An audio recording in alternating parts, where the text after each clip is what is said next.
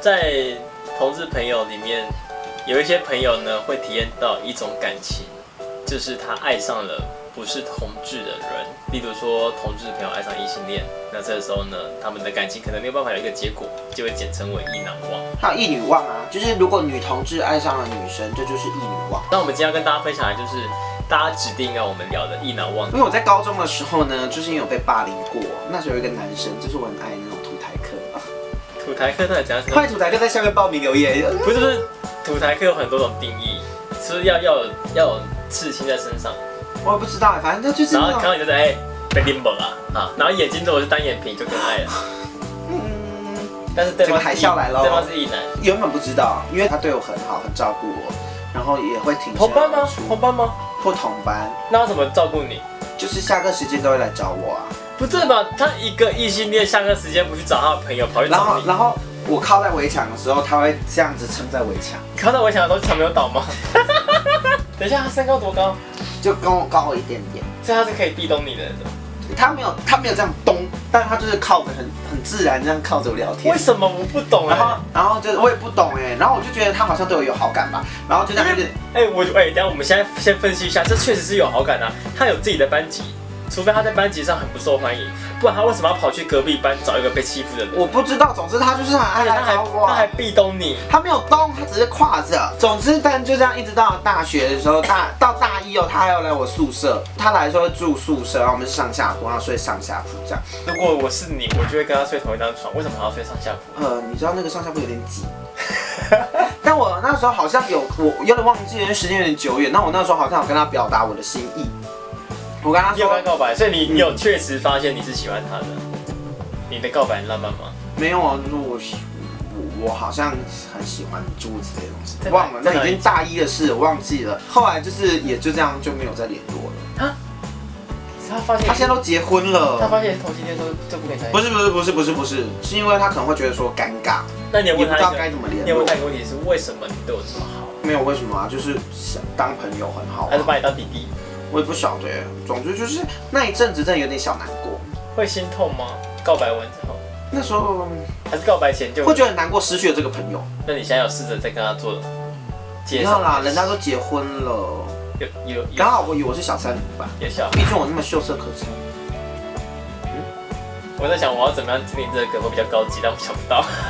我今天是第一次听到这个故事，真假的？真的，我以为你的意难忘只是讲讲，但你竟然有到告白，有啊。那他就真的是成为了一段恋情。你有意难忘吗？哎、有哎、大学的时候吧，一个还有同班同学，照片？我我我真的没有拍照片，可是你不是你找一下啊，你都不找，他这个人怎么这样、啊？他这个人就是不办任何通讯软体的那种人。我觉得他有一种吸引人的特质，是因为我每次跟他互动的时候，我都觉得他特别冷淡。然后我就想说，这个人也太难相处了吧？你要攻占他的心房。就越难追到越想追就是了啦。对，可是后来我觉得完蛋了，结果反而深深陷下去了。啊，你聊了可以，你晕船了。对我晕船到，我觉得那个时候我去学校骑车可能要四十分钟，我没有课的时间，我也会去到宿舍找他。然后就算只是躺在他的上铺里面，然后听他在那边玩电脑的声音，我都觉得哇，这是一件非常幸福的事你。就觉得说好像只有自己独占他的感觉。对，那你后来有跟他告白吗？有？因为我觉得他已经影响到我的生活，我上课或者是我去什么，我都会想要他。所以你就扑上去。我想要就是给自己一个了断，所以我就传讯息给他。我那时候就是手机还不是最新手机，亚太机对，要打很多次那个，我打超长哦。我后来就就跟他说我喜欢你，嗯。然后怎样怎样怎样，叭叭叭。然后，然后他说什么？他们隔了一天才回吧。嗯，他说什么？他说我没办法，谢谢你，就这样。就这样。那你后来还要见面吗？后来这个人就整个变，去学校之后他会装作不认识我，然后就是就是同一间教室上上课的时候，他就是可以把我当成是完全是不存在的。那请告诉现在在看这支影片的大家，对我如果面临到现在这种状况的话，来，我们两个前车之鉴哦。如果是同班的话，然后但你告白失败，然后对方那个异男一直都不想理你，把你当空气，你该怎么办？其实，在这个东西之前，认真讲，我们两个都早就做好准备。你要告白之前，你早就已经先算好说，你告白完之后，他如果不接受，其实很简单，这段感情你就是要舍弃了。其实现在坊间有一些故事，可能会说什么哦，有人被掰弯了或什么。我跟你讲啊，那都是百万分之一的几率嗯，啊。会有，但是真的不是说掰不掰，那是双性恋不。然你想想看，你有可能你身边现在一个异性恋想要把你变异性恋，你有可能你去把你爸掰弯。对，所以我只能说，如果你真的正在处于意难忘当中，我个人的建议会希望你早日杀出，认赔认赔杀出，不要再聊了 key，再聊了 key 真的会，你可以像我们两个一样告白，对让你自己你的心意让他知道对，但是这告白后可能会，他可能会就此远离你而去，也或者会继续跟你当朋友，这没有人说的准。这些结果，你就要自己去负责。对，但至少你把你的心意传达给他对了。，然后其实我额外讲一个，我有些时候会很很，我觉得有些人应该会很讨厌很好的异性恋朋友会讲一句话：如果你是女生，我就可以交往。哦，我也多希望可以帮你产卵。不要这样子，什么东西让我们节目的这个普遍解说因为你变限制级了，你知道吗？按照我们两个人的经验这样下来，如果是我，我再回到那一段时间的话，我还是会告白。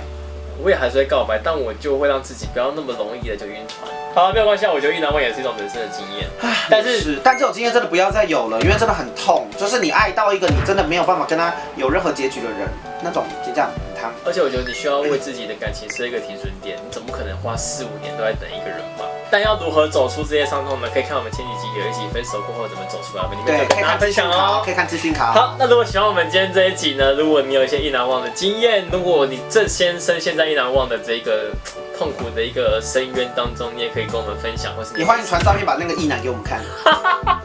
对你传给我们看，如果是小我们就小我们就传比欧的给你看。那我喜欢我们今天这支影片呢，记得按照分享、关注我们、订阅我们还有我们的 IG，然后把这影片分享出去。那如果呢有什么有想要我们要聊的话题呢，也欢迎私讯我们或留言在下面哟。